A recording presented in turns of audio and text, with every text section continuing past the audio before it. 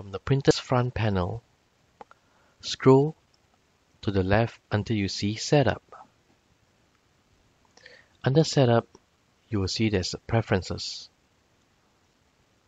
Under Preferences, there's a date and time and a language selection. Let's select the date and time. To change the date, you simply scroll up and down for the day, month and as well as the year. For the time, you can do the same thing, scrolling up and down.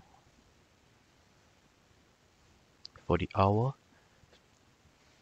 the minutes, and be sure to select AM or PM.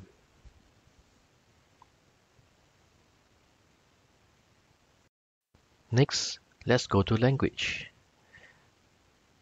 You can scroll up and down for the different languages that support the printer. We'll leave it as English. You can scroll up the menu to show other preferences like the quiet mode, sound volume, or even printer usage location. Let's go back to the main screen.